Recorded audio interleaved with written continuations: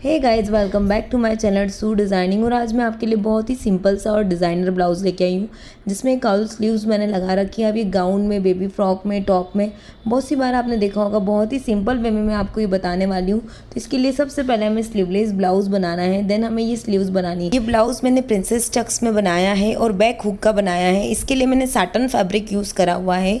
ये नॉर्मल अस्सी पॉइंट का ही कपड़ा है। आप चाहो तो अगर बड़ा साइज़ बनाना है तो आपको एक मीटर या डेढ़ मीटर कपड़ा लेना रहेगा। रहेगा सो आइए इसकी कटिंग की वीडियो स्टार्ट करते हैं। तो यहाँ पर सबसे पहले हमें बैक और फ्रंट कट कर लेना है।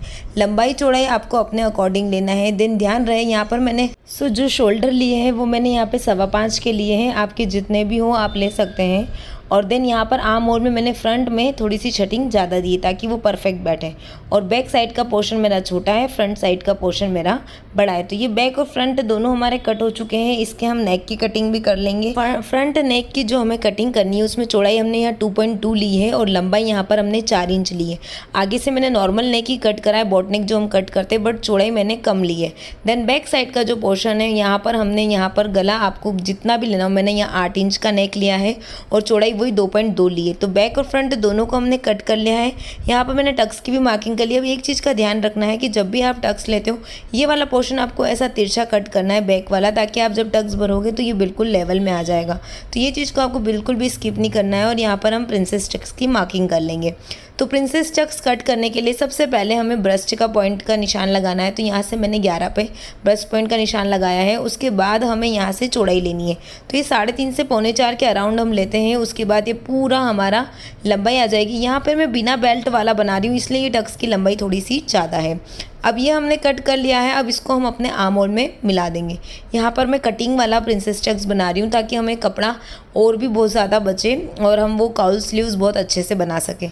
अब यहाँ पर हमें चौड़ाई लेनी है। देखिए, यहाँ पे आप डेढ़ से दो इंच की चौड़ाई ले सकती है। जितना आपको बाउंस लेना हो टक्स उस हिसाब से आप रखिएगा। मैं यहाँ पर डेढ़ इंच ले रही हूँ। अगर आप दो इंच भी लेना चाहेंगे तो ले सकते हैं। देन ये जितना अब हमारा पूरा पोर्शन है, पाँच इंच का इसका आधा करेंगे तो ढाई इंच पे हमने मार्क करना है। उसके बाद कुछ इस तरीके से शेप दे के अपने प्रिंसेस चक्स को हमें कट कर लेना है। आप चाहो तो ये डायरेक्ट वाला भी बना सकते हो बट डायरेक्ट वाला बनाना हो तो उसका शेप इस तरीके से नहीं लगाना रहता है। कटिंग वाला प्रिंसेस टक्स बनाओगे तभी आपको इस टाइप से शेप देना होता है। सो so, इसकी हम पूरी की कटिंग कर लेंगे और इसको मैन फैब्रिक पर भी हम कट करके स्टिच कर लेंगे। होपफुली आपको गाइस समझ में आ रहा होगा बहुत ही ईजी तरीके से मैं बता रही हूँ और आपको और भी डिज़ाइन की लेटेस्ट वीडियो के लिए आप मुझे इंस्टाग्राम पर फॉलो कर सकते हैं। मैं वहाँ पर डेली पोस्ट करती हूँ और भी आप क्या सीखना चाहते हैं इसके लिए मुझे आप ज़रूर कमेंट सेक्शन में बताइएगा। सो so, आप यहाँ पे हमने डेढ़ इंच की मार्किंग ली तो साइड से भी हमें डेढ़ इंच के अराउंड इसे बढ़ाना रहता है डेढ़ से दो इंच ताकि आपको आगे का पार्ट छोटा ना पड़े। तो इस तरीके से हमने कट कर लिया है। आप चाहो तो इस नक को और डीप नेक में भी बना सकते हो। आगे से नॉर्मल राउंड नेक का मैंने बनाया चार इंच का वो आप पाँच इंच भी ले सकते हो। सो so, ये इस तरीके से हमने मेन फैब्रिक पर इसको कट कर लिया है। बट बैक और फ्रंट पार्ट के नेक को नहीं चिपकाया था क्योंकि हम उसको अल्टर करेंगे अपने फ्रंट मेन फैब्रिक के साथ। तो मैंने यहाँ पर गला पट्टी कट करी। सबसे पहले मैंने यहाँ मेन फैब्रिक रखा है देन अस्तर रखा और फिर गला पट्टी रखी। है मैं हमेशा ऐसे ही करती हूँ ताकि मेरी गला पट्टी अंदर चली जाएगी और वो मुझे तुरपई या कुछ भी कराने की ज़रूरत नहीं रहेगी और वो गुम में अंदर चल जाएगी। तो आप भी इस चीज़ का बहुत ध्यान रखिएगा। सो so, इस तरीके से अब हम बैक और फ्रंट को पूरा रेडी कर लेंगे और इसको अल्टर कर लेंगे नेक को। तो यहाँ पर आप देख सकते हैं कि मैंने फ्रंट पार्ट में गले को भी अल्टर कर लिया और ये देख सकते हैं कि गुम में पूरा स्टिच हो चुका है। यहाँ पर मुझे तुरपाई करने की कोई नीड नहीं है। बैक पार्ट को भी रेडी कर लिया और देखिए पट्टी बिल्कुल अंदर चली गई है। पट्टी इसलिए लगाई है मैंने मैं चाहती तो डायरेक्ट भी कर सकती थी बट पट्टी लगाने से क्या होता है गला अच्छे से बैठता है। आप चाहो तो कैनवास का भी यूज़ कर सकते हो। दोनों के शोल्डर अटैच कर देंगे। आर्म होल में हम यहाँ पर पट्टी भी लगा देंगे। यहाँ पर आप चाहो तो पलट पट्टी लगाओ, आप चाहो तो गोट पट्टी लगाओ, जो भी चाहो आप लगा सकते हो। सो कुछ इस तरीके से हमने इस पूरे पोर्शन को रेडी कर लिया है। अब हमें यहाँ पे स्लीव्स बनानी है। मैंने यहाँ पर बैक हुक रखा है। आप चाहो तो फ्रंट हुक में भी इसे बना सकते हो। सो कुछ इस तरीके से हमने डन कर लिया है। अब हमें स्लीव्स बनानी है। तो स्लीव्स में सेंटर से तीन इंच इधर तीन इंच इधर लेना है। देखिए, आपको जितना डीप में लेना हो ना, ये आप ले सकते हो। बट मेरे हिसाब से तीन इंच सफिशेंट इससे ज़्यादा डाउन हमें नहीं लेना है। तो ये तीन इंच पे हमने मार्क कर लिया है। उसके बाद एक रफल हमें यहाँ पर भी मार्क कर लेना है। सो कुछ इस तरीके से तीन इंच के बाद हमें लगभग चार इंच, पाँच इंच यहाँ पर नीचे मार्क करना है। इस वाले निशान का कोई मतलब नहीं वैसे आप नी भी लगाएँगे तो चलेगा। तो मेन हमें यहाँ से यहाँ मार्क करना है और यहाँ से यहाँ मार्क करना है। इसलिए हमने नीचे वाले की भी मार्किंग करी है। तो जो तीन से तीन इंच है, हमें वो कितनी लूजिंग लेनी है, ये हमें ध्यान रखना है। तो इसके लिए मैं एक बार और आपको बताती हूँ। तीन से तीन इंच की हमने मार्किंग कर ली, यहाँ पर भी हमने मार्किंग करी लगभग चार इंच की। तो अब हमें यहाँ पे देखना है कि ये कितनी लूजिंग लेनी है हमारे आर्म्स की। देखिए, अगर आप चाहो तो इस टाइप से भी माप सकते हो, आप चाहो तो किसी की बॉडी मेज़रमेंट से भी इसका माप कर सकते हो। ये टाइट नहीं रहता है, अगर लूज़ हो तो आप इसको और कंफर्टेबली टाइट भी कर सकते हो। तो अब यहाँ पर हम स्लीव्स की कटिंग करेंगे। सबसे पहले स्लीव्स को हमने डबल फोल्ड करके एक फोल्ड और करा है। इट मीन्स हमने फोर फोल्ड करा है। बहुत ही इजी तरीके से काउल स्लीव्स में बनाना बताऊँगी। देखिए, हर किसी का तरीका अलग अलग होता है। बट आप इस तरीके से भी बनाएँगे तो आपकी बन जाएगी। अब नीचे वाला जो पोर्शन था वो हमें चाहिए था अठारह इंच। आपने भी देखा होगा, अठारह इंच चाहिए था या सोलह इंच भी आप ले सकते हो तो जितना भी लो उसका हमें हाफ़ करना है क्योंकि हम यहाँ डबल में कट कर रहे हैं। लंबाई मैंने यहाँ सेवनटीन सेवनटीन इंच ली, जितनी मेरे पास बच रही थी, आप बीस इंच तक भी ले सकते हो। और लॉन्ग करना हो तो आप और भी लॉन्ग ले सकते हो। अब हमें यहाँ से चौड़ाई लगानी थी, हमारी ऊपर की चौड़ाई थी छः इंच उसका हमें हाफ़ कर लेना है। देखिए, मैं भी फ़र्स्ट टाइम ही बना रही हूँ, इसलिए मैं थोड़ा सा ज़्यादा कपड़ा रख रख के कट कर रही थी और वही वीडियो मैंने शूट करा है बट आपको यहाँ पर है ना, ज़्यादा नहीं लेना है कपड़ा। हमें यहाँ पर हमने तीन इंच लेना है तो तीन से आप यहाँ पर ज़्यादा से ज़्यादा पाँच इंच ले सकते हो, बट इससे ज़्यादा आप चौड़ा मत लीजिएगा। नीचे से अगर आप चाहो तो शेप दो अदरवाइज़ आप सीधा भी रखेंगे तो चलेगा।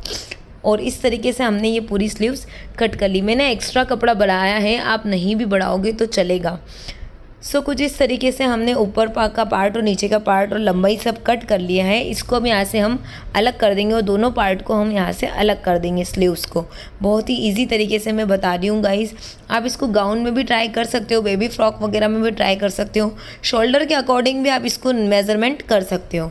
तो ये हमारे दोनों पार्ट कटिंग हो चुके हैं। अब इसको ऊपर से और डाउन साइड से हम नॉर्मली पतला पतला सा फोल्ड कर देंगे। फोल्ड करने के बाद इसमें हम सल लेंगे। देखिए, ये स्लीव्स बनाना बहुत इजी ही है। सो यहाँ पर हमने फोल्ड कर लिया है दोनों पोर्शन को अपर साइड से डाउन साइड से, और इस तरीके से हम इसमें प्लेट्स लेंगे। और आप देख रहे हैं कि कुछ इस तरीके से बाउंस वाला इसमें लुक आ रहा है। देखिए, मैं यहाँ पर जो प्लेट्स ले रही हूँ ना, एक एक इंच मैंने अंदर लिए हैं। बहुत ज़्यादा बड़े भी नहीं लेने और बहुत ज़्यादा छोटे भी नहीं लेने हैं। अगर बहुत ज़्यादा छोटे ले लोगे तो फिर वो लेयर्स अच्छी नहीं दिखेगी। बहुत ज़्यादा बड़े ले लोगे तो बहुत तीन या चार ही लेयर आएगी। तो कुछ इस तरीके से नॉर्मल हमने लेयर लेके इसको पूरा स्टिच कर लिया है और ये लगभग साढ़े तीन इंच मेरा चौड़ा है, साढ़े तीन से चार इंच। तो आप अगर और बड़े बड़े लेंगे तो कम आएगा। तो इस तरीके से आपको थोड़ा इतना तो लेना है कि चार इंच तक की ये स्लीव्स की चौड़ाई आए। देन इसको इस साइड भी हम रेडी कर लेंगे और वन बाय वन दोनों तरफ़ से हम स्लीव्स को डन कर लेंगे। बहुत ही इजी तरीके से मैं इसे बनाना बता रही हूँ। आप ज़रूर ट्राई कीजिएगा और मुझे अपना पिक्चर ज़रूर शेयर कीजिएगा। तो आप देख सकते हैं कि ये हमारी स्लीव्स रेडी हो चुकी है और अब हम दूसरे साइड वाली स्लीव्स को भी इसी तरीके से रेडी कर लेंगे। इसमें आप छोटी स्लीव्स नहीं बना सकते हो क्योंकि ये कोल्ड स्लीव्स जो होती है लाइक उस टाइप का पैटर्न है तो आपको ये स्लीवलेस टाइप ही रहेगा। तो ये हमने यहाँ पर हमारा स्लीवलेस जो ब्लाउज़ था, उसमें मैं आपको अटैच करना बताऊँगी कि कैसे अटैच करते हैं। तो ये दोनों स्लीव्स को हमने वन बाय वन स्टिच कर लिया और बहुत ही अच्छा बाउंस में आ रहा है। देखिए फैब्रिक भी अच्छा होगा ना तो उसका लुक बहुत अच्छा आएगा। तो आप जब भी बनाओ, इसको थोड़े से साटन या सेंटॉन टाइप के कपड़े में बनाए तो बहुत ही अच्छा बाउंस आएगा। या टिश्यू के कपड़े में ट्राई कीजिएगा। सिंथेटिक कपड़े में और इनमें लुक बहुत ही अच्छा आता है। अब हमें इस स्लीव्स को कुछ इस तरीके से अटैच करना है। फ्रंट और बैक दोनों साइड तो हमने जो तीन इंच की मार्किंग करी थी, हम वहाँ से इसको अटैच करेंगे। वहाँ से डाउन साइड में जहाँ तक जाएगा, वहाँ तक इसको हम अटैच कर लेंगे। तो कुछ इस तरीके से हम अटैच करना है इसको स्टार्ट करेंगे, यहाँ से यहाँ तक अटैच कर देंगे और बैक में हम यहाँ से यहाँ तक अटैच कर देंगे। अटैच करने के बाद वेयर करने के बाद अगर आपको लगता है कि ये आपको लूज़ हो रही है तो आप थोड़ा थोड़ा सा इस पोर्शन को और अंदर की साइड शिफ्ट कर सकते हैं। इसलिए हमने इसको ऊपर की साइड से लगाया है ताकि हम इसको एडजस्ट अपने अकॉर्डिंग कर सकें। तो इसको हमको आम होल में पूरा डन कर लेना है और इस स्लीव्स को हम अटैच कर लेंगे। ये लूज़ रहेगी तो ही अच्छी लगेगी, बहुत ज़्यादा टाइट कर लोगे तो उसका लुक नहीं आएगा। और यहाँ पर मैंने जो गैदर्स एक एक इंच लिया था, आप उसको और बढ़ा कर भी ले सकते हो और चौड़े प्लेट्स भी ले सकते हो। तो कुछ इस तरीके से हमने इस स्लीव्स को रेडी कर लिया है और वन बाय वन हम सारी प्रोसेस कर लेंगे। तो इधर भी हम इसको एडजस्ट कर लेंगे और उधर भी एडजस्ट कर लेंगे और फिर ब्लाउज़ की पूरी की फिटिंग लगा देंगे और बहुत ही सिंपल तरीके से हमने इस ब्लाउज़ को बना के रेडी कर लिया है। और भी ऐसे लेटेस्ट डिज़ाइन के लिए आप मुझे इंस्टाग्राम पर ज़रूर फॉलो कीजिएगा गाइस तो so, देखिए लुक में लग रही है ना एकदम प्रिटी सी तो हमने ये दोनों साइड इस स्लीव्स को अटैच कर लिया है आम होल में। और ध्यान रहे फिटिंग लगाने से पहले आपको इस स्लीव्स को कंप्लीट करना है ताकि वो परफेक्टली आपकी अटैच हो जाए। बैक हुक करा है आप फ्रंट हुक भी दे सकते हो उसके बाद इसको आप फिटिंग लगाकर पूरा डन कर लीजिए। और आप देखिए कितनी मस्त लग रही है कॉल स्लीव्स पहनने के बाद भी बहुत अच्छी लग रही है। और इसमें हम एडजस्ट कर सकते हैं और बहुत ही सिंपल वे में हमने स्लीवलेस ब्लाउज़ को डिज़ाइनर बनाना बताया है। तो आप ज़रूर ट्राई कीजिएगा, मुझे अपना पिक्चर ज़रूर शेयर कीजिएगा और ज़रूर मुझे बताइएगा कि आप नेक्स्ट वीडियो किसका देखना चाहते हैं। आफ्टर वेयरिंग भी ये बहुत ही ज़्यादा प्रिटी लग रहा है। देखिए, ये बाउंस करता हुआ कितना ज़्यादा अच्छा लग रहा है। तो इसको कॉटन फैब्रिक की बजाय आप सिंथेटिक या कोई साटन फैब्रिक में या ऑर्गेन्जा फैब्रिक में ट्राई करेंगे तो इसका लुक बहुत अच्छा आएगा।